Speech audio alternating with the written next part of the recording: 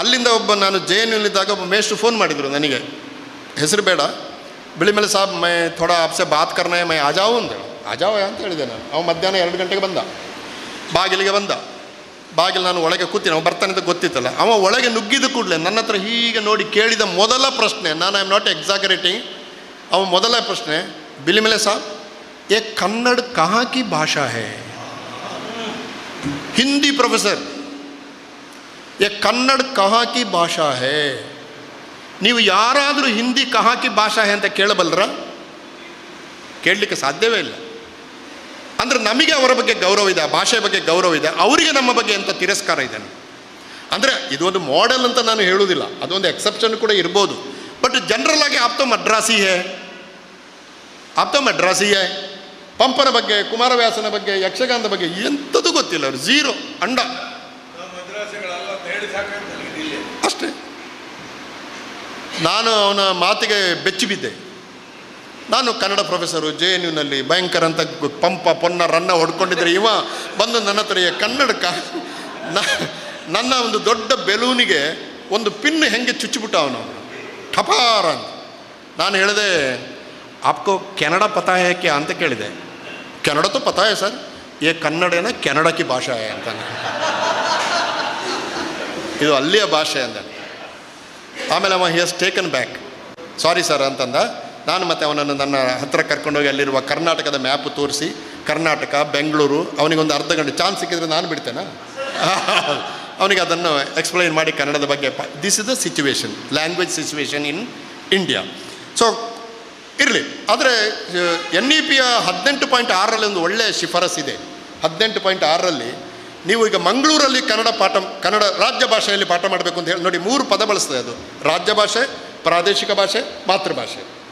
ಅದು ಒಳ್ಳೆ ಕಾನ್ಸೆಪ್ಟ್ ಅದು. ಒಳ್ಳೆ ನನ್ನ ಪ್ರಕಾರ ಇರುವುದರಲ್ಲಿ ಹೆಚ್ಚು ಪ್ರಾಕ್ಟಿಕಲ್ ಅದು. ಈಗ ಮಂಗಳೂರಲ್ಲಿ ನೀವು ಪಾಠ ಅಥವಾ ಇಲ್ಲಿ ಬೆಳ್ತಂಗಡಿಯಲ್ಲಿ ನೀವು ಪಾಠ ಮಾಡ್ತೀರಿ ಅಂತಂದರೆ, ನೀವು ರಾಜ್ಯ ಭಾಷೆಯಲ್ಲಿ ಪಾಠ ಮಾಡಬೇಕು ಅಂತಿದೆ ಅದು. ರಾಜ್ಯ ಭಾಷೆಯಲ್ಲಿ ಪಾಠ ಮಾಡಿದ್ರಿ. ಆಮೇಲೆ ಕ್ಲಾಸಿನಲ್ಲಿ ಪಕ್ಕ ಅವನಿಗೆ ನೀವು ಕನ್ನಡದಲ್ಲಿ ಹೇಳಿದ್ದು ಅರ್ಥ ಆಗಲಿಲ್ಲ ಅಂದರೆ ತುಳುವಿನಲ್ಲಿ ಹೇಳಿ ಅಂತ ಹೇಳ್ತದೆ. ನೀವು ಎಕ್ಸ್ಪ್ಲೈನ್ ಮಾಡಿದ್ದನ್ನು ತುಳುವಿನಲ್ಲಿ ಹೇಳಿ ಅಂತ ಹೇಳ್ತದೆ. ಒಂದು ವೇಳೆ ಅವನಿಗೆ ಕನ್ನಡದ್ದು ಅರ್ಥ ಆಗಲಿಲ್ಲ, ತುಳುವಿದು ಅರ್ಥ ಆಗಲಿಲ್ಲ ಅಂದರೆ ಕ್ಲಾಸಿಂದ ಹೊರಗೆ ಬಂದ ಮೇಲೆ ಅವನು ಮಾತೃಭಾಷೆ ಗೊತ್ತಿದ್ದರೆ ಅವನು ಮಾತೃಭಾಷೆಯಲ್ಲಿ ಮಾತಾಡಿ ಅಂತ ಹೇಳ್ತದೆ. You you you start conversing with him in his mother tongue ಅಂತ ಹೇಳ್ತದೆ. ಅಂದರೆ ಮೇಸ್ಟ್ರಿಗೆ ಅಷ್ಟು ಗೊತ್ತಿರಬೇಕು ಅಲ್ವಾ? ಮೇಸ್ಟ್ರಿಗೆ ಮೂರು ಭಾಷೆ ಗೊತ್ತಿರಬೇಕು. ಈ ಸರ್ಕಾರ ಯಾರಿಗಾದರೂ ದುಡ್ಡು ಕೊಟ್ಟವರನ್ನ ಗುಲ್ಬರ್ಗದಿಂದ ತಂದು ಇಲ್ಲಿಗೆ ಟ್ರಾನ್ಸ್ಫರ್ ಮಾಡಿ ಹಾಕಿದರೆ ಎಂತ ಮಾಡೋದು ಅವ? ಪಾಪ, ಅವನಿಗೆ ಕನ್ನಡವೇ ಬರುವುದಿಲ್ಲ ಅವನಿಗೆ ಬರುವ ಕನ್ನಡ ಗುಲ್ಬರ್ಗದ ಕನ್ನಡ. ದಕ್ಷಿಣ ಕನ್ನಡದ ಕನ್ನಡವೇ ಗೊತ್ತಿಲ್ಲ ಅವನಿಗೆ. ಅವ ಮಾತಾಡುವಾಗ ಉರ್ದು ಬಳಸ್ತಾನೆ, ಪರ್ಷಿಯನ್ ಬಳಸ್ತಾನೆ. ಅವನ ಕನ್ನಡ ಅದು. ನಾವು ಇಲ್ಲಿ ಒಳ್ಳೆ ಯಕ್ಷಗಾನದವರು ಕನ್ನಡ ಕನ್ನಡ ಅಂತ ಸಾಹೇಬರು ಹೇಳ್ದಂಗೆ ಮಾಡ್ತಾ ಇದ್ವಿ. ಸೊ ಇದು ಸಮಸ್ಯೆ. ಹಾಗಾಗಿ ತ್ರಿಭಾಷಾ ಸಾರಿ ಮಾತೃಭಾಷಾ ಶಿಕ್ಷಣದ ಬಗ್ಗೆ ಎನ್ ಇ ಪಿ ಬಟ್ ನೀವು ಈಗ ಎನ್ ಇ ಪಿ ಕರ್ನಾಟಕದಲ್ಲಿ ಚಾಲ್ತಿಗೆ ಬಂದಿದೆ. ಯಾರಾದರೂ ಟ್ರೈನಿಂಗ್ ಮಾಡಿದ್ದಾರೆ, ಅಥವಾ ನಾನೀಗ ಹೇಳ್ತಿರೋ ವಿಷಯದ ಬಗ್ಗೆ ನಿಮಗೆ ಎಷ್ಟು ಜನಕ್ಕೆ ಗೊತ್ತುಂಟು? ಕ್ಷಮಿಸಿ ನಾನು ಈ ಪ್ರಶ್ನೆ ಕೇಳಿದ್ದಕ್ಕೆ. ಯಾರಿಗೂ ಗೊತ್ತಿಲ್ಲ. ಹೇಳಲೇ ಇಲ್ಲ ಅದು. ಈಗ ಮಾಡಬೇಕು ಅಂತ ಇದೆ ಅದರಲ್ಲಿ. Eighteen point six national education policy point number eighteen point six ನೋಡಿ ಇದು ಇದೆ ಇದು. ಮಾಡುವುದೇ ಇಲ್ಲ. ಸೊ ಇದು ಸಮಸ್ಯೆ. ಕೊನೆಯ ಒಂದು ಸಮಸ್ಯೆಯನ್ನು ಹೇಳಿ ನನ್ನ ಮಾತನ್ನು ನಿಲ್ಲಿಸ್ತೇನೆ ನಾನು. ನೋಡಿ, ಈಗ ಕರ್ನಾಟಕ ಈಗ ಏಕೀಕರಣ ಆದಾಗ ಕನ್ನಡ ಒಂದು ರಾಜ್ಯ ಭಾಷೆಯಾಗಿ ಇವಾಲ್ವ್ ಆಯಿತು. ತಮಿಳುನಾಡು ಇವಾಲ್ವ್ ಆಯಿತು. ಸಾವಿರದ ಒಂಬೈನೂರ ಮೂವತ್ತಾರರಷ್ಟು ಹಿಂದೆ ಒಡಿಯಾ ಭಾಷೆಯಾಗಿ ರಾಜ್ಯವಾಗಿ ಬಂತು. ಎಲ್ಲ ಭಾಷೆಗಳು ಬಂದು. ಒಂದು ಇಪ್ಪತ್ನಾಲ್ಕು ಭಾಷೆಗಳು. ನೋಡಿ ಏಯ್ಟ್ ಶೆಡ್ಯೂಲ್ದು ಒಂದು ಸಮಸ್ಯೆ ಇದೆ ಜೋಶಿ ಅವರೇ. ನೀವೆಲ್ಲಾದರೂ ಇದನ್ನು ಸಾಧ್ಯ ಒಂದ? ಏಯ್ಟ್ ಶೆಡ್ಯೂಲನ್ನು ಡಿಮಾಲಿಷ್ ಮಾಡಬೇಕು. ಏಯ್ತ್ ಶೆಡ್ಯೂಲನ್ನೇ ತೆಗಿಬೇಕು. ಇಲ್ಲ ಏಯ್ತ್ ಶೆಡ್ಯೂಲಿಗೆ ಒಂದು ಗೌರವ ತಂದು ಕೊಡುವ ಕೆಲಸವನ್ನು ಮಾನ್ಯ ಗೃಹ ಮಂತ್ರಿಗಳು, ಮಾನ್ಯ ಪ್ರಧಾನಮಂತ್ರಿಗಳು ಯಾರಾದರೂ ಮಾಡಿ, ಅವರ ಕಾಲಿಗೆ ಬೀಳ್ತೀನಿ ನಾನು. ಹತ್ತೊಂಬತ್ತು ಸಾವಿರದ ಐನೂರ ಅರವತ್ತ್ಮೂರು ಭಾಷೆಗಳಲ್ಲಿ ನಮ್ಮ ಸಂವಿಧಾನ ಅಂಗೀಕರಿಸಿದ ಭಾಷೆ ಇಪ್ಪತ್ನಾಲ್ಕು. ಸಿದ ಗ್ಯಾಪ್ ಇಪ್ಪತ್ನಾಲ್ಕು. ಈ ಇಪ್ಪತ್ನಾಲ್ಕರಲ್ಲಿ ಹದಿನೆಂಟು ಭಾಷೆ ಇಂಡೋ ಆರಿಯನ್ ಗ್ರೂಪ್ ಇದು, ಉತ್ತರ ಭಾರತದ್ದು. ಬರೀ ನಾಲ್ಕು ಮಾತ್ರ ದಕ್ಷಿಣ ಭಾರತದ್ದು. Telugu, Tamil, Kannada, Malayalam. You can see the regional variations versus Dravidian ಗ್ರೂಪಲ್ಲಿ ನೂರ ಮೂವತ್ತಾರು ಭಾಷೆಗಳಿದೆ. ತುಳುವನ್ನು ಸೇರಿಸಬೇಕು ಅಂತ ನಾವು ಎಷ್ಟು ಹೋರಾಟ ಮಾಡಿದ್ದೀವಿ. ಜಾರ್ಜ್ ಫರ್ನಾಂಡಸ್ನ ಹಿಡ್ಕೊಂಡು ಹೋರಾಟ ಮಾಡಿದ್ವಿ ಆಸ್ಕರ್ ಫರ್ನಾಂಡಸ್ನ ಹಿಡ್ಕೊಂಡು ಹೋರಾಟ ಮಾಡಿದ್ವಿ ವೀರಪ್ಪ ಮೊಯ್ಲಿನ ಹಿಡ್ಕೊಂಡು ಹೋರಾಟ ಮಾಡಿದ್ವಿ George Fernandes very very close to Vajpayee. ಆಗಲಿಲ್ಲ. ವೀರಪ್ಪ ಮೊಯ್ಲಿ, ಸೋನಿಯಾ ಗಾಂಧಿ ಅವರ ಎಡ ಪಕ್ಕದಲ್ಲಿ, ಆಸ್ಕರ್ ಫರ್ನಾಂಡಿಸ್ ಬಲ ಪಕ್ಕದಲ್ಲಿ ಕೂತ್ಕೊಳ್ಳುವವರು, ಅದೂ ಆಗಲಿಲ್ಲ. ಕರ್ನಾಟಕ ಸರ್ಕಾರ ಏಯ್ಟ್ ಶೆಡ್ಯೂಲನ್ನು ಸೇರಿಸಿ ಅಂತ ಹೇಳಿತು, ಅದು ಆಗಲಿಲ್ಲ. ಅದು ಆಗೋದಿಲ್ಲ. ಮಾನ್ಯ ಪ್ರಧಾನಮಂತ್ರಿಗಳು ಇಲೆಕ್ಷನ್ ಟೈಮಲ್ಲಿ ಮಂಗಳೂರಿಗೆ ಬಂದಾಗ ನಾನು ಅವರ ಆಫೀಸಿಗೆ ಹೋಗಿ ಒಂದು ಮೆಮೊರಾಂಡಮ್ ಕೊಟ್ಟು ಬಂದೆ. Sir it's you are welcome to south ಕೇಂದ್ರ it's my district and people speak there Tulu Tulu ಮಾತಾಡ್ತಾರೆ. ತುಳು ಏಯ್ಟ್ ಶೆಡ್ಯೂಲಿಗೆ ಸೇರುವುದು ತುಳುವರ ಬಹುಕಾಲದ ಒಂದು ಸಮಸ್ಯೆ. ತಾವು ದಯವಿಟ್ಟು ತಮ್ಮ ಭಾಷಣದಲ್ಲಿ ಅದರ ಬಗ್ಗೆ ಬೆಳಕು ಚೆಲ್ಲಿ. ಇದು ಹೇಳಿದೆ ನಾನು. ಬೆಳಕು ಚೆಲ್ಲಿ ಅಂದರೆ ಮಾಡಲೇಬೇಕು ಅಂತ ಅಲ್ಲ. I can understand there are various languages in India so ಅದರ ಬಗ್ಗೆ ಸ್ವಲ್ಪ ಬೆಳಕು ಚೆಲ್ಲಿ, ಇದು ಕಷ್ಟ ಉಂಟು ಮಾಡಲಿಕ್ಕೆ ಅಂತಾದರೂ ಹೇಳಿ ನೀವು. ಯಾಕೆಂದರೆ ತುಳುವರು ಅದನ್ನು ಕಾಯ್ತಾ ಇದ್ದಾರೆ. ನೀವು ಅದನ್ನು ಹೇಳಿದರೆ ಅದು ನೀವು ಜನಗಳನ್ನು ಎನ್ಲೈಟನ್ ಮಾಡಲಿಕ್ಕೆ ಆಗ್ತದೆ ಅಂತ ನಾನು ಎರಡು ಸರ್ತಿ ಬಂದಾಗಲೂ ಕೊಟ್ಟೆ. ಅವರು ಅದೊಂದು ವಿಷಯ ಬಿಟ್ಟು ಎಲ್ಲ ಮಾತಾಡಿ ಹೋದರು. ಮಂಗಳೂರಿನ ಜನ ಕೂಡ ಒಯ್ಲ ಆರ್ಲ ಪದವಿನಲ್ಲಿ ಹೋಗಿ ಭಾಷಣ ಮಾಡೋದು. ತುಳು ಏಯ್ತ್ ಶೆಡ್ಯೂಲಿಗೆ ಸೇರಬೇಕು ಅಂತ. ಪ್ರಧಾನಮಂತ್ರಿಗಳು ಬಂದಾಗ ಒಂದು ಮೆಮೊರಾಂಡಮ್ ಕೂಡ ಕೊಡಲಿಲ್ಲ. ಓ, ಇಲ್ಲಿ ಭಾಷಣ ಮಾಡೋದು ಗುರುವಾಯಿನ ಕೆರೆಯಲ್ಲಿ. ತುಳು ಏಯ್ತ್ ಶೆಡ್ಯೂಲ್ಗೂ ಸೇರುಡು ಒಂದು ಎಂಕಳ ಒತ್ತಾಯ ಮನ್ಪೋ ಏರಿಗೆ ಒತ್ತಾಯ ಮನ್ಪಿನಿ? ಒತ್ತಾಯ ಮನ್ಪುನಗಳು ಇರ್ನ ಇಲ್ಲದ ಬಾಕಿಲಿಗೆ ಬತ್ತೇರೆ ನಿಖಲ್ ಮನ್ಪಂತೆ ಕೊಳ್ಳುತ್ತಾರೆ. ಯಾನ್ ಪಂಡೆ, ತುಳು ಅಕಾಡೆಮಿಗೆ ಪಂಡೆ. ಒಂಜಿ ಪ್ರಪೋಸಲ್ ಬರೆತು ಕೊರ್ಪೆ ಅಣ್ಣ ಪ್ರಧಾನಮಂತ್ರಿ ಬಂದಾಗ ಒಂಜಿ ಕುರ್ಲೆ, ಇಪ್ಪಡಿಸಿ ನಿಖಲಿಗೆ ಎಂಚಿನ ಆವುಡು ಪಂಡಿತು ಪನೋಡತ್ತಾನು. ಈ ಕೊರಲೆ ಬಂಡ್ಯಾರ ಕೊರಲೆ ತುಳು ಅಕಾಡೆ. ಯಾನ್ ಬರೆತು ಕೊರಿಯಾರ ನಾಲ್ಕು ಪೇಜ್ ಎನ್ನಡ ದುಂಬದ ಇತ್ತನು ಅಯ್ನ ಫಸ್ಟ್ ಕ್ಲಾಸ್ ಮಂತ್ ಕೊರಿ. ಅವು ಎಂಕು ಉಳಾಯಿ ಪೋರೆ, ಎಂಟ್ರಿ ತಿಕ್ಕುಜಿ. ಎನ್ನ ಬುಡ್ಜೀರ್. ನಾನು ಮತ್ತೆ ಹೇಳಿದೆ, ನೀವು ಹಾಗಾದರೆ ಅಲ್ಲಿ ಹೋಗಿ ಪಜೀರ್ನಲ್ಲಿ ಹೋಗಿ ತುಳು ಏಯ್ ಸೆಡ್ಯೂಲಿಗೆ ಸೇರ್ಬೇಕಂತ ಭಾಷಣ ಮಾಡೋದನ್ನು ನಿಲ್ಲಿಸಿ ಅಂತ. ನಿಲ್ಲಿಸಿ. ಅಂದರೆ ಸುಮ್ಮನೆ ಹೇಳೋದು ನಾವು. ಸುಮ್ಮನೆ ಭಾಷಣ ಮಾಡೋದು. ಅದು ಮರುದಿವಸ ಪೇಪರ್ಲಿ ಬಂದರೆ ಎನ್ನ ಭಾಷಣ ಪೇಪರ್ ಬತ್ತುಂಡು ಈ ನೀವು ಅವನಿಟ್ಟು ತೋರಿಸೋದು ಯಾರಿಗೆ? ಅವನ ಹೆಂಡತಿಗೆ ಅಂತ. ಅವಳಿಗೆ ಇವನ ಬಗ್ಗೆ ಇದ್ದಕ್ಕಿದ್ದಾಗ ಒಂದು ಗೌರವ. ಮೇರ್ನ ಭಾಷಣ ಪೇಪರ್ಡ್ ಬತ್ತುಂಡಿಗೆ ಎಷ್ಟು ಭಾಷೆ ಉಂಟೀಗ waiting? ಹಾಂ ಈಗ ಏಯ್ತ್ ಶೆಡ್ಯೂಲ್ಗೆ ಅಂದರೆ ಇದು ಎರಡು ಸಾವಿರದ ಹನ್ನೊಂದರ ಜನಗಣತಿಯಲ್ಲಿ ಇರುವ ಭಾಷೆ ತೊಂಬತ್ತೊಂಬತ್ತು ಈಗ. ತುಳು ಸೇರಬೇಕು ಅಂತ ನಾವು ಗಲಾಟೆ ಮಾಡಿದಾಗ ಐದು ಭಾಷೆ ಇದ್ದದ್ದು. ಡೋಗ್ರಿ ಸಂತಾಲಿ ಆ, ತುಳು ಮತ್ತು ಇನ್ನೊಂದು. ಐದು ಹಾಂ ಹೌದು ತುಳು ಒಂದು ಬಿಟ್ಟು ಅದು ಮೂರು ಆಯ್ತು ಆವಾಗ ತುಳು ಆಯಿತು ಈಗ ತೊಂಬತ್ತೊಂಬತ್ತು ಭಾಷೆ ಇದೆ. ಭೋಜ್ಪುರಿ ಕೊಡವ, ಬಂಜಾರ, ರಾಜಸ್ಥಾನಿ ಹಾಂ ಈಗ ಇನ್ನು ಆಗೋದಿಲ್ಲ. ನೀವು ತೊಂಬತ್ತೊಂಬತ್ತು ಭಾಷೆಗಳದ್ದು ಏಯ್ಟ್ ಶೆಡ್ಯೂಲಿಗೆ ಸೇರಿಸಲಿಕ್ಕೆ ಸಾಧ್ಯವೇ ಇಲ್ಲ. ಆದ್ದರಿಂದ ಒಂದ ನಿಮ್ಮ ಮುಂದಿರುವ ಸವಾಲು ಎರಡೇ. ಏಯ್ಟ್ ಶೆಡ್ಯೂಲನ್ನು ತೆಗೆದು ಭಾರತಕ್ಕೆ ಬೇಕಾದಂಥ ಒಂದು ಪರಿಪಕ್ವವಾದ ವೆಲ್ ಡಿಸೈನ್ಡ್ ವೆಲ್ ಡಿಸ್ಕಸ್ಡ್ ಭಾಷಾ ನೀತಿಯನ್ನು ರೂಪಿಸೋದು ಒಳ್ಳೆ ಭಾಷಾ ನೀತಿಯನ್ನು ತಂದು, ನೀವು ಐದು ವರ್ಷ ತಗೊಳ್ಳಿ you take five years draft ಮಾಡಿ, ಚರ್ಚೆ ಮಾಡಿ ಜೋಶಿ ಅಂತವರವರು ನಿಮ್ಮಂಥವ್ರದ್ದು ನಿಮ್ಮಂಥವ್ರ ಹತ್ರ. ನಿಮ್ಮ ಫೀಡ್ಬ್ಯಾಕ್ ತಗೊಳ್ಳಿ ನೋಡಿ, ಹೊಸ ಶಿಕ್ಷಣ ನೀತಿ, ನೀವು ಒಪ್ಪಿಬಿಡಿ ಅದು ಬೇರೆ. ಆದರೆ ಅದನ್ನು ಮಾಡುವಾಗ ಒಂದು ಡೆಮೊಕ್ರೆಟಿಕ್ ಪ್ರೊಸೆಸ್ಸನ್ನು ಅನುಸರಿಸಲಾಗಿದೆ. ಎರಡು ಸಾವಿರದ ಹತ್ತೊಂಬತ್ತರಲ್ಲಿ ಡ್ರಾಫ್ಟ್ ರಿಲೀಸ್ ಮಾಡಿದ್ದಾರೆ ಸರ್ ಅವರು ಆನ್ಲೈನಲ್ಲಿ ನಾವೆಲ್ಲ ರಿಯಾಕ್ಷನ್ ಮಾಡಿದ್ದೀವಿ ಅದಕ್ಕೆ. ನಮ್ಮ ರಿಯಾಕ್ಷನ್ ಎಷ್ಟು ತಕ್ಕೊಂಡಿದ್ದಾರೆ, ತಕ್ಕೊಳ್ಳಿಲ್ಲ ಅದು ಬೇರೆ ಪ್ರಶ್ನೆ. ಬಟ್ ಪ್ರೊಸೆಸ್ ವಾಸ್ ಡೆಮೋಕ್ರೆಟಿಕ್ ಮಾಡಿ ಈಗ ಒಂದು ಮಾಡಿ. ಭಾಷಾ ನೀತಿಯನ್ನು ಮಾಡಿ. ಹೇಗೆ ಎಷ್ಟನೇ, ಕನ್ನಡವನ್ನು ಎಷ್ಟನೇ ಕ್ಲಾಸಿನವರೆಗೆ ಕಲಿಸಬೇಕು? ಸರ್ಕಾರ ಅದನ್ನು ಭಾಷಾ ನೀತಿಯನ್ನು ಮಾಡಿ ಪಾರ್ಲಿಮೆಂಟ್ ಒಪ್ಪಿ ಅದು ಲಾ ಆದರೆ ಸಾಂವಿಧಾನಿಕ ಪ್ರಾಬ್ಲಮ್ ಬರುವುದಿಲ್ಲ ಅವಾಗ. ಇಲ್ಲಾಂದ್ರೆ ಯಾರು ನನ್ನ ನೀವು ಕನ್ನಡ ಕಲೀರಿ ಅಂತ ಹೇಳಿದರೆ ಪೂವಪ್ಪ ಹೋಗಿ ಕೋರ್ಟಿಗೆ ಹೋದ್ರೆ ಸ್ಟೇ ಕೊಡ್ತದೆ. ನೀವು ಇದನ್ನು ತೋರಿಸಿದ್ರೆ ಸಾಕು. ಕೋರ್ಟ್ ಸ್ಟೇ ಕೊಡ್ತದೆ. ಏಳನೇ ಕ್ಲಾಸಿನ ಹುಡುಗ ಸ್ಟೇ ತಂದ ಮಾರ್ರೆ. ಕರ್ನಾಟಕದ ಸರ್ಕಾರದ ವಿರುದ್ಧ. ಎಲ್ಲ ಬೈದರು. ನಮ್ಮ ಕನ್ನಡ ಹೋರಾಟಗಾರರು ಏನೋ ಹುಡುಗ ಹೋಗೆ ಹೀಗೆ ಮಣ್ಣಗಟ್ಟಿ ಬೈಬೇಕಾದ ಸುಪ್ರೀಂ ಕೋರ್ಟಿಗೆ ಕರೆಕ್ಟಾಗಿ ಕೊಟ್ಟಿದ್ದಾರೆ. ನ್ಯಾಯ ತೀರ್ಮಾನ ಕರೆಕ್ಟಾಗಿದೆ ಹಾಗಾಗಿ ಗೆಳೆಯರೆ ಈ ಒಂದು ಹೇಳಿ ನಿಲ್ಲಿಸ್ತೇನೆ ನಾನು. ಸಾರಿ ಹಾಂ ಸಮಯ ಆಯಿತು. ಆಯ್ತು ಆಯ್ತು ಇಲ್ಲ. ನಿಲ್ಲಿಸಿದೆ ಹಾಂ ನೋಡಿ ಈಗ ರಾ, ಏಕೀಕರಣದಲ್ಲಿ ಏನಾಯಿತು ಅಂತಂದರೆ ಏಕೀಕರಣದ ಸಂದರ್ಭದಲ್ಲಿ ಕನ್ನಡ ಮೇಲಕ್ಕೆ ಬಂತು, ಒಂದು ಸುಪ್ರೀಂ ಭಾಷೆ ಆಯಿತು ಆಗಬೇಕಂತೆ ನಾವೆಲ್ಲ ಅದರಲ್ಲೇ ಓದಿದ್ದೆವು ಕಲ್ತೀವಿ, ಎಲ್ಲ ಕರೆಕ್ಟ್. ಆದರೆ ಈ ಕನ್ನಡದ ಅಂಡರ್ನಲ್ಲಿ ಬರುವ ಎಪ್ಪತ್ತೆರಡು ಸಣ್ಣ ಭಾಷೆಗಳ ಗತಿ ಏನು ಅಂತ ಯಾರು ಕೇಳುವವರೀಗ? ನೋಡಿ, ಇದು ಈಗ ತೆಲಂಗಾಣ, ಪಕ್ಕದ ತೆಲಂಗಾಣದಲ್ಲಿ ತೆಲುಗು ಅಧಿಕೃತ ಭಾಷೆ, ಉರ್ದು ಎರಡನೆಯ ಅಧಿಕೃತ ಭಾಷೆ. ನೀವು ಡೆಲ್ಲಿಗೆ ಬಂದರೆ ಹಿಂದಿ ಅಧಿಕೃತ ಭಾಷೆ, ಇಂಗ್ಲೀಷ್, ಪಂಜಾಬಿ, ಉರ್ದು ಮೂರು, ಒಂದನೇ, ಎರಡನೇ, ಮೂರನೇ ಭಾಷೆಗಳು. ಅಫಿಷಿಯಲ್ ಭಾಷೆಗಳೇ. ಅಂದರೆ ಡೆಲ್ಲಿಗೆ ನಾಲ್ಕು ಅಫಿಷಿಯಲ್ ಭಾಷೆಗಳಿವೆ.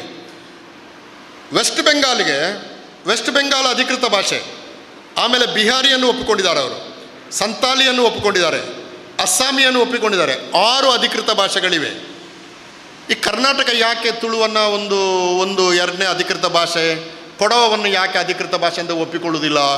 ನನಗೆ ಅರ್ಥ ಆಗೋದಿಲ್ಲ. ಬೇರೆ ಭಾಷೆಗಳ ಮಾಡೆಲ್ ಇದೆ ಅಲ್ಲಿ. ಕೆಲವು ರಿಸ್ಟ್ರಿಕ್ಟೆಡ್ ಮಾಡಿಕೊಡಿ ರೆಕಗ್ನಿಷನ್ ಅಂತೂ ಮಾಡಿ. ಅದು ಮಾಡೋದಿಲ್ಲ. ಇದರ ಪರಿಣಾಮ ಏನಾಗಿದೆ ಅಂತಂದರೆ, ಕೊಡವ ಭಾಷೆ ನೋಡಿ, ಎರಡು ಸಾವಿರದ ಒಂದರ ಜನಗಣತಿಯಲ್ಲಿ ಕೊಡವ ಭಾಷೆ ದಾಖಲಾದವರ ಸಂಖ್ಯೆ ಒಂದು ಲಕ್ಷದ ಅರುವತ್ತಾರು ಸಾವಿರ. ಒಂದು ಲಕ್ಷದ ಅರುವತ್ತಾರು ಸಾವಿರ. ಎರಡು ಸಾವಿರದ ಹನ್ನೊಂದರ ಜನಗಣತಿಯಲ್ಲಿ ಕೊಡವ ಭಾಷೆಯ ದಾಖಲಾದವರ ಸಂಖ್ಯೆ ಒಂದು ಲಕ್ಷದ ಮೂವತ್ತು ಸಾವಿರ.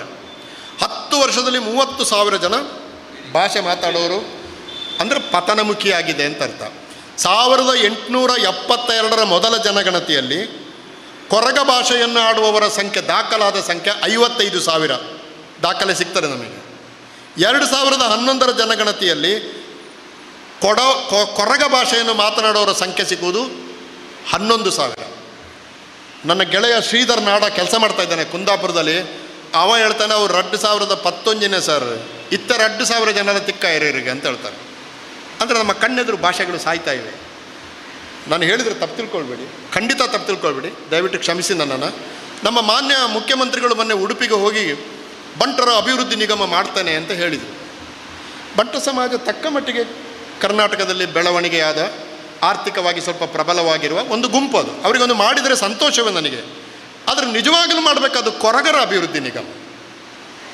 ಅದು ಆಗಬೇಕಾ ಭಾಷೆ ಉಳಿಬೇಕು ಜನ ಉಳಿಬೇಕು. ನೀವು ಕೊರಗರ, ಇದು ನೋಡಿ ರಿಪೋರ್ಟ್ ನೋಡಿ, ಇಪ್ಪತ್ತೈದು ವರ್ಷದಿಂದ ನಲವತ್ತು ವರ್ಷದ ನಡುವಿನವರು ಸಾಯುವುದು ಸರ್ ಅಪೌಷ್ಟಿಕತೆಯಿಂದ. ಮೂಢನಂಬಿಕೆಯಿಂದ ಆಸ್ಪತ್ರೆಗೆ ಹೋಗೋದಿಲ್ಲ ಅವರು. ಈ ಎಜುಕೇಟ್ ದೇಮ್ ಒಂದು ರಂಗೋಲಿಯ ಒಂದು ಬಣ್ಣ ಉಳಿತದೆ ಅಂತ ಅಷ್ಟೇ ನಂದು ಬೇರೆ ನನಗೆ ಏನು ಕಲಕಿಲ್ಲ ಸೊ ಹೀಗೆಲ್ಲ ಭಾಷೆಯ ಸಮಸ್ಯೆಗಳಿವೆ. ಕೊನೆಯ ಒಂದು ಸರ್ ಎರಡೇ ನಿಮಿಷ. ನಮ್ಮ ನಾವು ಅದು ಇದು ಆ್ಯಕ್ಚುಲಿ ನಮ್ಮ ಅರವಿಂದ್ರ ಹೇಳಿದ ಪ್ರಕಾರ ಇದರ ಬಗ್ಗೆ ಜಾಸ್ತಿ ಮಾತಾಡಬೇಕಾಗಿತ್ತು. ಆದರೆ ನಾವು ಮೇಷ್ಟ್ರುಗಳು ಹಾಗೆ. ಯಾವುದು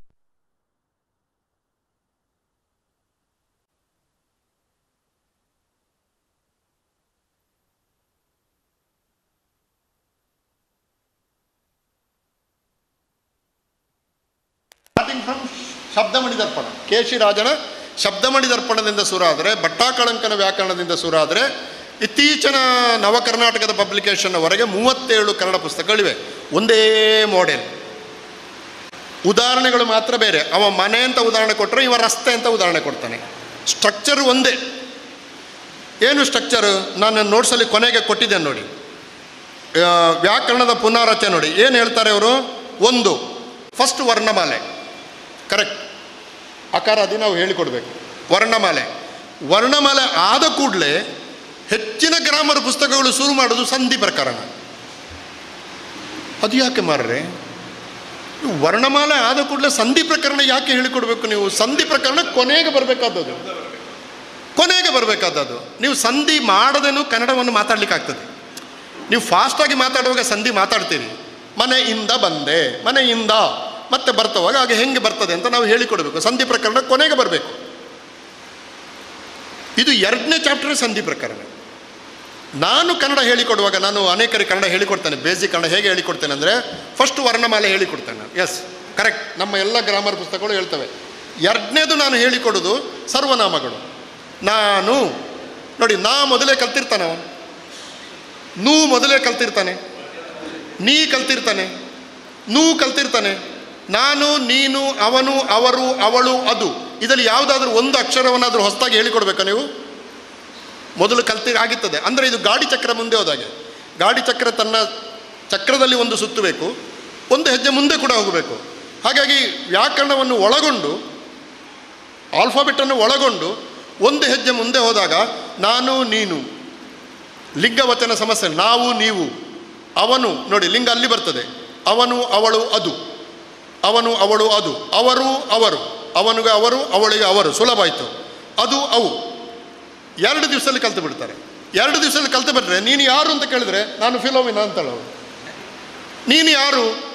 ನೀನು ಪ್ರೊಫೆಸರ್ ಅಂತಳು ಕಲ್ತು ಬಿಡ್ತಾರೆ ಕನ್ನಡ. ಮೂರನೇ ಚಾಪ್ಟರ್ಗೆ ನೀವು ಬಂದಾಗ, ನೋಡಿ, ನಾನು ನಾನು ಇಲ್ಲಿ ಕೊನೆಗೆ ಕೊಟ್ಟಿದ್ದೆ ನೋಡಿ, ಕರ್ಣ ವರ್ಣಮಾಲೆಗಳು ವ್ಯಂಜನಗಳು, ಒತ್ತಕ್ಷರಗಳು, ಆಮೇಲೆ ಸರ್ವನಾಮಗಳು, ನಾನು, ನೀನು, ಅವಳು, ಅದು.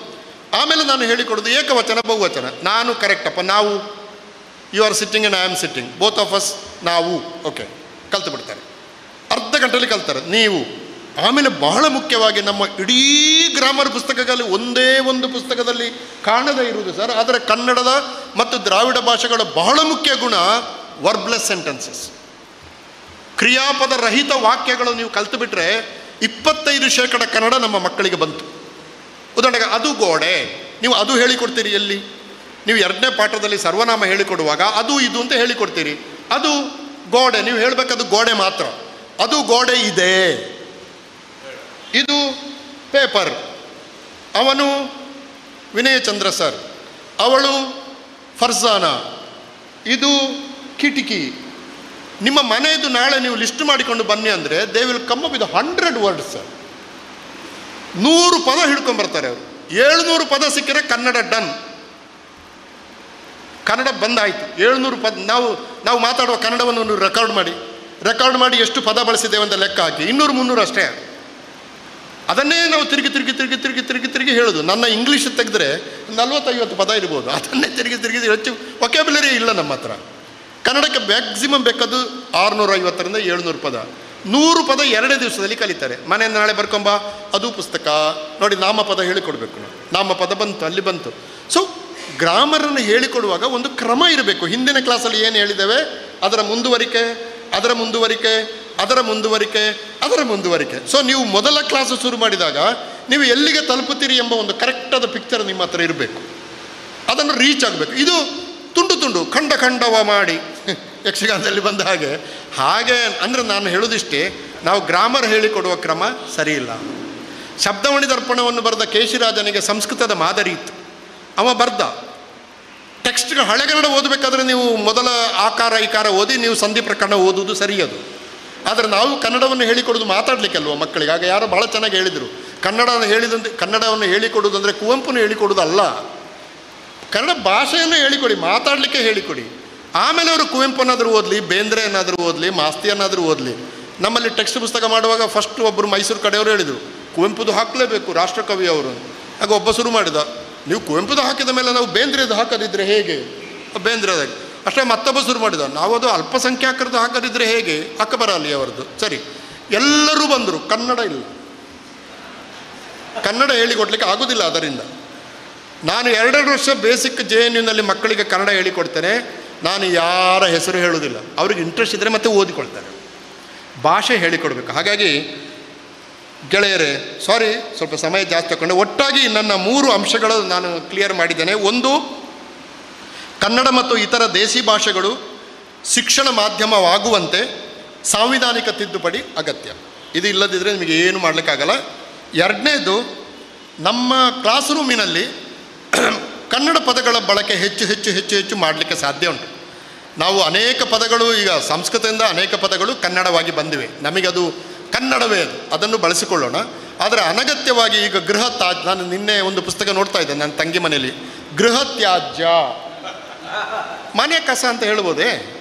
ಮನೆ ಮಗು ಮನೆಯಲ್ಲಿ ಯೂಸ್ ಮಾಡ್ತಾನೆ. ಇಲ್ಲಿ ಮನೆ ಕಸ ಹಾಕಬೇಡ ನೀನು ಅಂತ ಹೇಳೋದಿಲ್ಲ ಮೇಡಮ್ ನೀವು ಮನೆಯಲ್ಲಿ ಕಸ ಹಾಕಬೇಡ. ನೀವು ಮನೆಯಲ್ಲಿ ಗೃಹ ತ್ಯಾಜ್ಯ ಹಾಕಬೇಡ ಅಂತ ನೀವು ಮಕ್ಕಳು ನನ್ನ, ನನಗೆ ಹೇಳಿ. ಅದು ಅದು ಏನಾಗ್ತದೆ ಅಂತಂದರೆ ಮಗು ಆ ಪದವನ್ನು ಕೂಡ ಬಾಯ್ಪಟ್ಟ ಕಲಿಬೇಕು. ನೀವು ಮನೆ ಕಸ ಅಂತ ಹೇಳಿದರೆ, ಮನೆಯಲ್ಲಿ ಅಮ್ಮ ಹೇಳಿದವನ ಕಿವಿಲಿ ಬೀಳ್ತದೆ, ಶಾಲೆಯಲ್ಲಿ ಹೇಳಿದ ಕೂಡಲೇ ಗೊತ್ತಾಗ್ತದೆ ಅದು. ಎಷ್ಟು ಗ್ರಾಸ್ಪ್ ಅಲ್ವಾ? The school should be extension of his house ಮನೆಯ ಎಕ್ಸ್ಟೆನ್ಷನ್ ಆಗಬೇಕದು ಅದು. ಕಟ್ ಪಾಯಿಂಟ್ ಆಗಿ ನೀವು ಅಲ್ಲಿ ಮಾಡೋಕ್ಕಾಗಲ್ಲ. ಆದ್ದರಿಂದ ಈ ಪದಗಳು ನೀವು ಇನಿಷಿಯಲ್ ಲೆವೆಲ್ನಲ್ಲಿ ಮನೆ ಕಸ ಅಂತ ಹೇಳಿ, ಸೌರಮಂಡಲ, ಸೂರ್ಯಮಂಡಲ ಅಂತೇಳಿ ಸೂರ್ಯ ಹೇಳ್ತಾವೆ ಸೊ ಅನಗತ್ಯವಾಗಿ ನಮ್ಮಲ್ಲಿ ಯಾರೋ? ನಮಗೂ ಅರ್ಥವಾಗದ ಎಷ್ಟೋ ಪದಗಳನ್ನು ತುಂಬಿ ನಾವು ಅದನ್ನು ಈ ವಯಸ್ಸಿನಲ್ಲಿ ನನಗೆ ಅರವತ್ತೆಂಟು ವರ್ಷ ಈಗ, ಅದನ್ನು ಅರ್ಥ ಮಾಡಿಕೊಳ್ಬೇಕಾದ್ರೆ ಡಿಕ್ಷನರಿ ನೋಡಬೇಕಾಗ್ತದೆ ನಾನು. ಸುಲಭ ಇದೆ, ಅನೇಕ ಪದಗಳು ನಾನು ಇಲ್ಲಿ ಕೆಲವು ಉದಾಹರಣೆಗಳನ್ನು ನಿಮಗೆ ಮುಂದೆ ಎಲ್ಲೋ ಕೊಟ್ಟಿದ್ದೆ ನಾನು. ಇರಲಿ, ಅದನ್ನು ನಾನು ಹೇಳ್ತೇನೆ. ಸೊ ಗೆಳೆಯರ, ಒಟ್ಟು ಕನ್ನಡದ ಸಮಸ್ಯೆ ಬರೀ ದೇಸಿ ಸಮಸ್ಯೆ ಅಲ್ಲ, ಅಂತಾರಾಷ್ಟ್ರೀಯ ಸಮಸ್ಯೆ ಅದು. ಜಗತ್ತಿನ ಎಲ್ಲ ರಾಷ್ಟ್ರಗಳು ಕೂಡ ಭಾಷೆಯನ್ನು ವ್ಯವಹಾರದ ಭಾಷೆಯಾಗಿ ಕನ್ವರ್ಟ್ ಮಾಡಿವೆ ಬಿಸಿನೆಸ್ನ ಭಾಷೆಯಾಗಿ ಕನ್ವರ್ಟ್ ಮಾಡಿವೆ computer language should be very monotonous ಅದು ಬೇರೆ ಬೇರೆ ಆಗಲಿಕ್ಕೆ ಸಾಧ್ಯವೇ ಇಲ್ಲ. ನಾನು ಕಂಪ್ಯೂಟರ್ಗೆ ಒಂದು ಕೀಯನ್ನು ಇಟ್ಟುಕೊಂಡು ಡೆಲ್ಲಿಯಲ್ಲಿ ಮಾತಾಡಿದಾಗ ಜಪಾನ್ನಲ್ಲಿ ಮಾತಾಡಬೇಕು, ಲಂಡನ್ನಲ್ಲಿ ಮಾತಾಡಬೇಕು, ನ್ಯೂಯಾರ್ಕಲ್ಲಿ ಕೂಡ ಮಾತಾಡಬೇಕು. ಅದು ಮಾತಾಡಿದರೆ ಮಾತ್ರ ಕಂಪ್ಯೂಟರ್ಗೆ ಅರ್ಥ ಆಗೋದು. ಸೊ ಇದು ಒಂದು ಲ್ಯಾಂಗ್ವೇಜನ್ನು ಏನು ಮಾಡಿದರೆ ವರ್ಲ್ಡ್ ಲೆವೆಲ್ನಲ್ಲಿ ಏಕೀ ರೂಪಕ್ಕೆ ತಂದಿದೆ. ಅದು ಕಂಪ್ಯೂಟರ್ ಭಾಷೆ ಅಗತ್ಯ ಬಿಸಿನೆಸ್ನ ಅಗತ್ಯ ಅದು. ಆದರೆ ಭಾಷೆ ಮತ್ತು ಸಾಹಿತ್ಯದಲ್ಲಿ ಕೆಲಸ ಮಾಡುವ ನಮಗೆ ಅದರ ಅಗತ್ಯ ಇಲ್ಲ. ನಾನು ಯಕ್ಷಗಾನದ ಬಗ್ಗೆ ಮಾತಾಡಬೇಕಾದ್ರೆ ನನಗೆ ಯಕ್ಷಗಾನದ ವರ್ಡ್ಸ್ಗಳೇ ಬೇಕು ನನಗೆ. ನೀವು ಸೋಗಲೆ ಅಂತ ಹೇಳಿ, ವೀರಗಾಸೆ ಅಂತ ಹೇಳಿ, ಕಿರೀಟ ಅಂತ ಹೇಳಿ, ಅದೇ ಬೇಕು ನನಗೆ. ದೆನ್ ಐ ಕ್ಯಾನ್ ಸೇ ಕಿರೀಟ means head gear but I don't say head gear is ಕಿರೀಟ. No it's either way Veeragase, ತೋರಿಸ್ತೀನಿ ನಾನು. ಕುಣಿತ ಒಂದನೇ ಹೆಜ್ಜೆ, ಎರಡನೇ ಹೆಜ್ಜೆ, ಮೂರನೇ ಹೆಜ್ಜೆ. ಫಸ್ಟ್ ಸ್ಟೆಪ್ ಸೆಕೆಂಡ್ ಮೊದಲೇ ಹಾಗೆ ಹೇಳೋದು. ಸೊ ಇಲ್ಲಿಂದ ಅಲ್ಲಿಗೆ ಹೋಗಬೇಕು ವಿನ, ಅಲ್ಲಿಂದ ಇಲ್ಲಿಗೆ ಬರೋದಲ್ಲ. ಸೊ ಈ ಎಲ್ಲ ಗೊಂದಲಗಳ ನಡುವೆ ಕನ್ನಡವನ್ನು ಉಳಿಸಿಕೊಳ್ಳುವ ಜವಾಬ್ದಾರಿ ನಮ್ಮದು ಅರವಿಂದನಿಗೆ ನಾನು ಥ್ಯಾಂಕ್ಸ್ ಹೇಳಬೇಕು. ನಾವು ರಾಜಕಾರಣಿಗಳ ಜೊತೆ ಚರ್ಚೆ ಮಾಡಿದ್ದೇವೆ, ಎಲ್ಲರ ಜೊತೆ, ವಿದ್ವಾಂಸರ ಜೊತೆ ಚರ್ಚೆ ಮಾಡಿದ್ದೇವೆ. ಆದರೆ ಕನ್ನಡ ಶಾಲೆಗೆ ಪೇರೆಂಟ್ಸ್ಗಳನ್ನು ಕಳಿಸುವ ಹೆತ್ತವರ ಜೊತೆಗೆ ಚರ್ಚೆ ಮಾಡಿದ್ದು ನನಗೆ ಅಷ್ಟು ಗೊತ್ತಿಲ್ಲ. ಅರವಿಂದ ಅಂತ ಒಂದು ಹೊಸ ಪೇರೆಂಟ್ಸ್ಗಳ ಜೊತೆ ಮಾಡ್ತಾರೋಣ ಸರ್ ಅಂತಂದಾಗ ಅದಕ್ಕೆ ಒಪ್ಪಿಕೊಂಡು ನಾನು ಇಷ್ಟು ಹೇಳೋದಕ್ಕೆ ಡೆಲ್ಲಿಂದ ಬಂದಿದ್ದೇನೆ. ನಮಸ್ಕಾರ.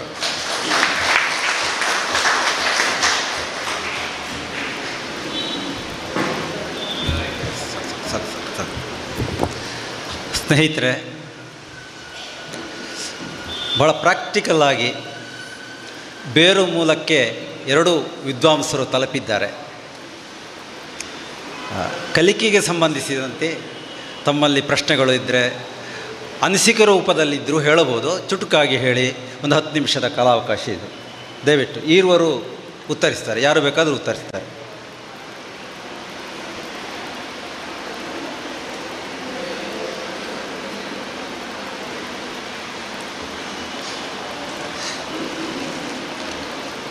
ಪಿ ವಿ ಭಂಡಾರಿ ಅವರು. ಚೈಲ್ಡ್ ಸೈಕಾಲಜಿಸ್ಟ್ ಅವರು. ತುಂಬ ಅದರ ಬಗ್ಗೆ ಪುಸ್ತಕ ಬರೆದವರು. ಕಲಿಕೆಯಲ್ಲಿ ಮಗುವಿನ ಮನೋದೈಹಿಕ ಭಾಷೆ ಬೇರೆ ಇದೆ.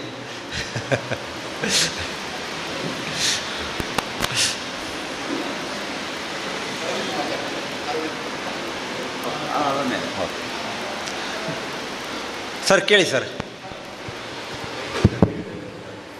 ಎಲ್ರಿಗೂ ನಮಸ್ಕಾರ. ಈಗ ಕನ್ನಡ ಮಾಧ್ಯಮ ಅಂತ ಹೇಳುವಾಗ ಸಾಮಾನ್ಯವಾಗಿ ನಾವು ಕರ್ನಾಟಕದ ಇದರ ಬಗ್ಗೆ ಮಾತ್ರ ಹೆಚ್ಚು ಚರ್ಚೆ ಆಗ್ತದೆ. ಆದರೆ ನಮ್ಮ ನೆರೆಯ ಕಾಸರಗೋಡು ಕೂಡ ಕನ್ನಡ ನಾಡು. ಅಲ್ಲೀಗ ನಾನು ಬೆಳೆದಿರುವಂತಹ ಪರಿಸರ ಕಾಸರಗೋಡಿನ ಪೆರ್ಲದ ಸಮೀಪದ ಒಂದು ಊರು. ನನ್ನ ಭಾಷೆ ಮಾತನಾಡುವಂಥ ಭಾಷೆ ಕರಾಡ ಭಾಷೆ. ಆದರೆ ಬಾಲ್ಯದಲ್ಲಿ ತುಳು, ಕನ್ನಡ ಇವನ್ನು ಕಲಿತಾ ಬಂದು. ಶಾಲೆಗೆ ಬಂದ ನಂತರ ಕನ್ನಡ ಅಭ್ಯಾಸ ಆಗಿರುವಂಥದ್ದು. ಈಗ ಅಲ್ಲಿ ಕನ್ನಡದ ಪರಿಸ್ಥಿತಿ ಹೇಗಿದೆ ಹೇಳಿದರೆ, ಈ ಪ್ರಭಾವ ತುಂಬ ಕಡಿಮೆ ಆಗ್ತಾ ಇದೆ. ಮಲಯಾಳಂನ ಪ್ರಭಾವ ಹೆಚ್ಚಾಗ್ತಾ ಇದೆ. ನಾನು ಬಾಲ್ಯದಲ್ಲಿ ಕಂಡಂತಹ ಪರಿಸ್ಥಿತಿ ಮತ್ತು ಈಗ ಅಲ್ಲಿ ಇರುವಂತಹ ಪರಿಸ್ಥಿತಿ. ಒಂದು ಕಚೇರಿಗೆ ಹೋದರೆ ಅಲ್ಲಿ ಕನ್ನಡದಲ್ಲಿ ವ್ಯವಹರಿಸುವುದು ಕಷ್ಟಕರ ಎನ್ನುವ ರೀತಿಯಲ್ಲಿದೆ. ಈ ಭಾಷಾ ಅಲ್ಪಸಂಖ್ಯಾತರ ಬಗ್ಗೆ ಎನ್ ಇ ಪಿಯಲ್ಲಿ ಈ ಬಗ್ಗೆ ಏನಾದರೂ ಪ್ರಸ್ತಾಪಗಳು ಇವೆಯಾ ಅಂತೇಳಿ ನನ್ನ ಪ್ರಶ್ನೆ.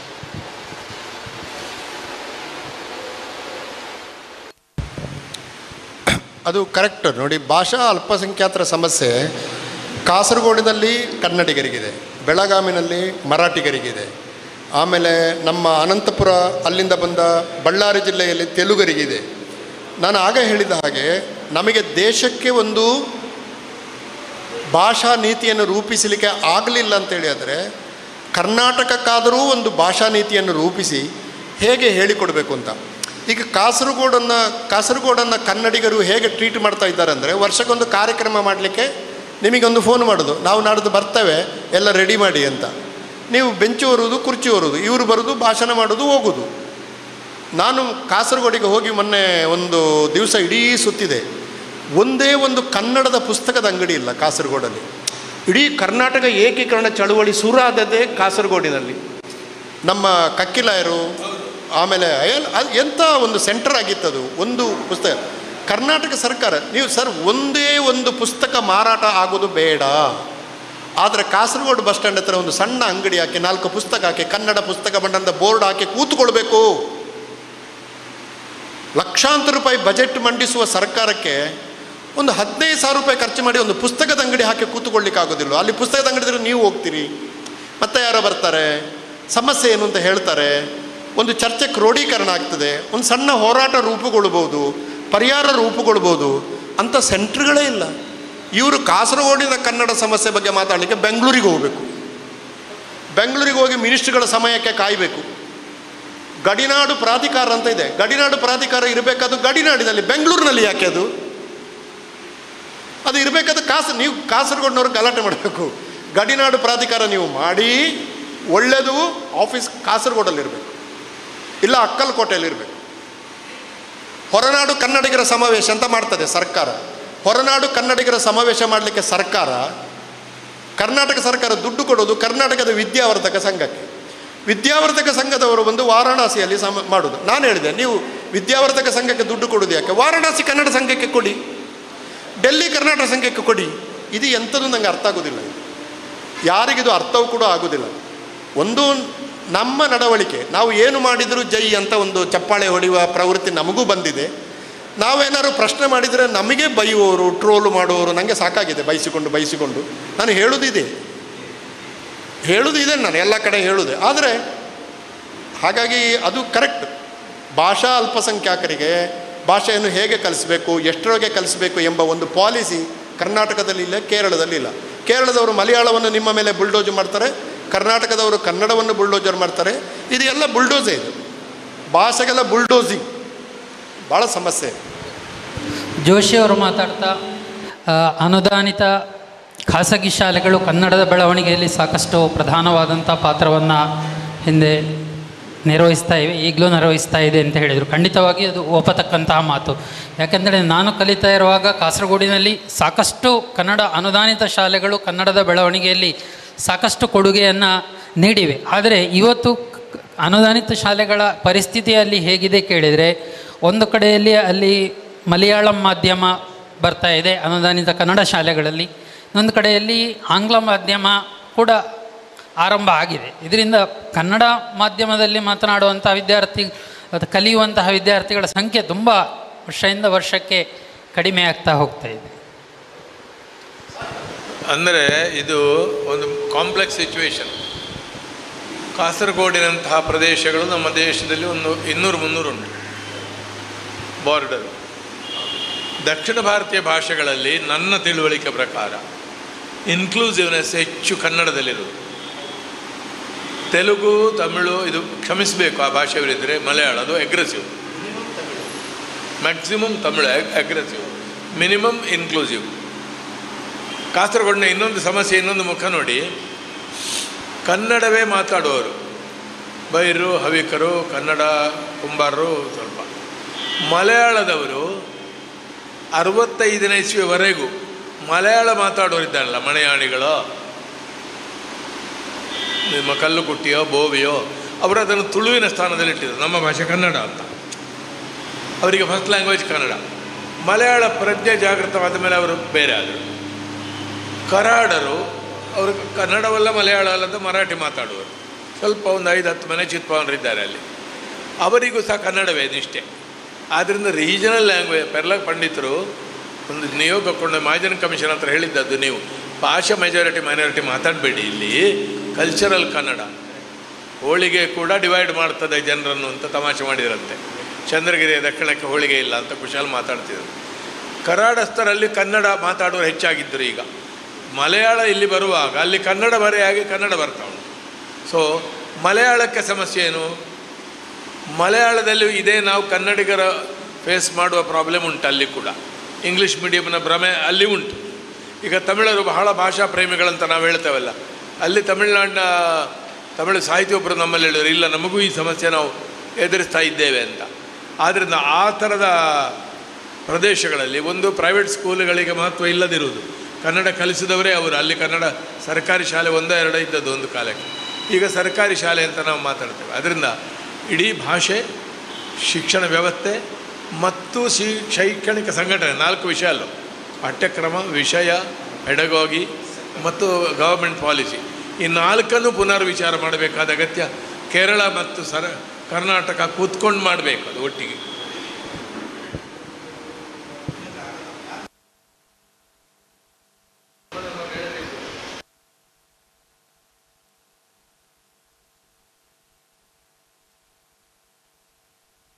ಹಲೋ. ಸರ್, ನಾನು ಪುರುಷೋತ್ತಮ ಬೆಳಿಮಲೆ ಸರ್ ಹೇಳುವಂತ ಅಂದರೆ, ಕನ್ನಡದ ಕಲೆ, ವಿಜ್ಞಾನ ಸಂಬಂಧಪಟ್ಟಾಗೆ ನೀವು ಹೇಳಿದ್ರಲ್ಲ, ಗೃಹ ತ್ಯಾಜ್ಯ ಅಂತ. ನಾನು ವಿಜ್ಞಾನ ಪಾಠ ಮಾಡುವವನು.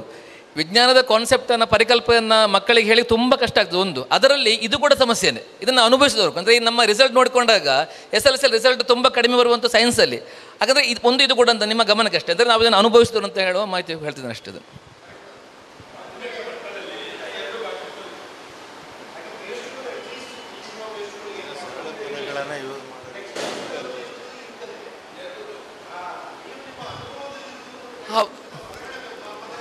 ಖಂಡಿತ ಖಂಡಿತ ಹೇಳ್ತೇವೆ ಬಟ್ ಅದಕ್ಕೆ ಇದು ಅಂತ ಅವಕಾಶಗಳಿಲ್ಲ ಅನ್ಕೊಂಡು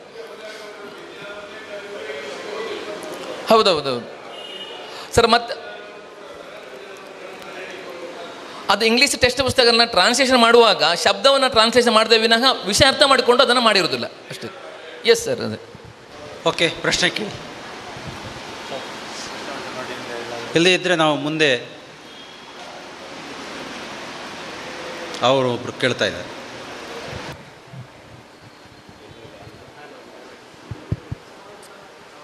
ಎಲ್ಲ ಹಿರಿಯರಿಗೂ ಸಹ ನನ್ನ ಕಿರಿಯನ ನಮಸ್ಕಾರವನ್ನು ತಿಳಿಸ್ತಾ ನನ್ನ ಹೆಸರು ಸತೀಶ್ ಆಚಾರ್ ಅಂತ.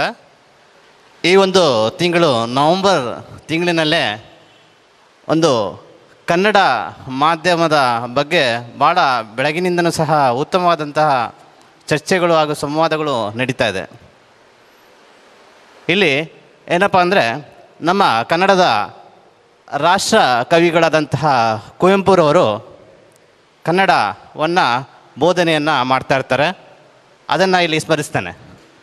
ಅವರು ಇದನ್ನು ನಾನು ಎಲ್ಲೋ ಕೇಳಿದ್ದು, ಎಲ್ಲೋ ಓದಿದ್ದು ಚಿಕ್ಕ ಹೈ ನನ್ನ ಹೈಸ್ಕೂಲ್ ಮಟ್ಟದಲ್ಲಿ. ಅವರು ಸಾಮಾನ್ಯವಾಗಿ ಕನ್ನಡವನ್ನೇ ಮಾತಾಡ್ತಾ ಇರ್ತಾರೆ. ಏನಾರ ಮಾಡಿ ಇವರಲ್ಲಿ ಆಂಗ್ಲ ಭಾಷೆಯ ಪದವನ್ನು ಮಾತಾಡಿಸ್ಬೇಕು ಅಂದ್ಬಿಟ್ಟು ಒಂದು ಉಪದ್ರ ಅಥವಾ ಏನೋ ಒಂದು ಮಾಡ್ತಾರೆ. ಏನಪ್ಪ ಅಂದರೆ ತರಗತಿಯನ್ನು ಮಾಡ್ತಾ ಇರುವಂಥ ಸಮಯದಲ್ಲಿ ಒಬ್ಬ ವಿದ್ಯಾರ್ಥಿ ಇಲ್ಲಿ ಏನಿದೆ ಟ್ಯೂಬ್ಲೈಟನ್ನು ಆನ್ ಮಾಡ್ತಾನೆ. ಆಗ ಸರ್ ಯಾರವನು ಟ್ಯೂಬ್ಲೈಟ್ ಸ್ವಿಚ್ಚು ಆನ್ ಮಾಡಿದವನು ಅಂತ ಕೇಳ್ಬೋದು ಅಂತ.